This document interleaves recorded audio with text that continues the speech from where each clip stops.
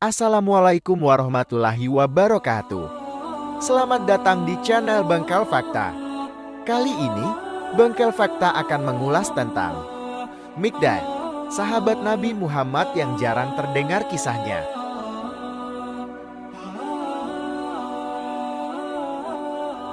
Nama Mikdad jarang diceritakan dibandingkan sahabat Nabi Muhammad yang lain. Meski menjadi salah satu dari tujuh orang pertama yang menyatakan keislaman secara terbuka atau terang-terangan, nama Mikdad mungkin lebih jarang diceritakan dibandingkan kisah sahabat-sahabat Rasulullah lainnya. Kisah Mikdad nyatanya tak jauh berbeda dengan Bilal bin Rabah. Mikdad yang sejatinya merupakan seorang pemikir ulung harus menanggung penderitaan atas siksaan yang diterimanya dari kaum Quraisy namun berkat pemikiran dan hati yang tulus pada Islam, Mikdad yang serta-merta meninggalkan keyakinannya hanya karena siksaan yang menimpanya. Sebaliknya, Mikdad semakin meneguhkan keyakinan pada agama yang dibawa Rasulullah.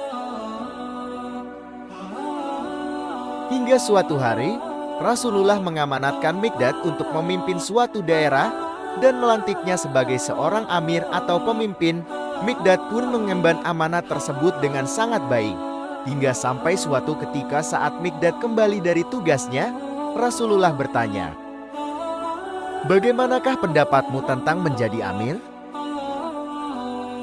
Dengan jawaban yang jujur, Mikdad mengatakan bahwa dia tidak ingin meneruskan amanat sebagai amir. Keputusan ini diambil karena menurut dia dengan menjadi pemimpin kedudukannya berada di atas dari orang lain. Berbeda dengan kebanyakan orang yang ingin menempati posisi tertinggi, Mikdad justru tidak menginginkan hal itu. Anda telah menjadikanku menganggap diriku berada di atas semua manusia. Demi yang telah mengutus Anda membawa kebenaran, sejak saat ini aku tidak berkeinginan lagi menjadi pemimpin sekalipun untuk dua orang untuk selama-lamanya, ucap Mikdad. Semenjak menempati posisi sebagai amir, Mikdad memang selalu dikelilingi oleh kemewahan dan sanjungan dari banyak orang.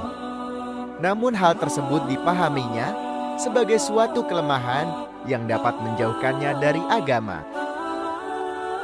Mikdad akhirnya memantapkan diri untuk menghindarinya dengan cara mundur dari jabatannya sebagai amir.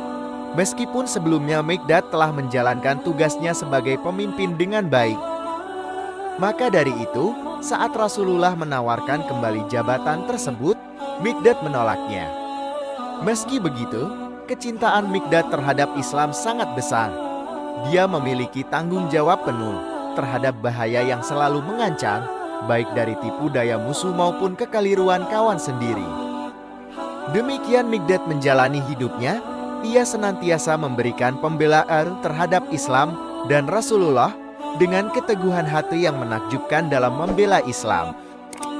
Ia mendapat kehormatan dari Rasulullah.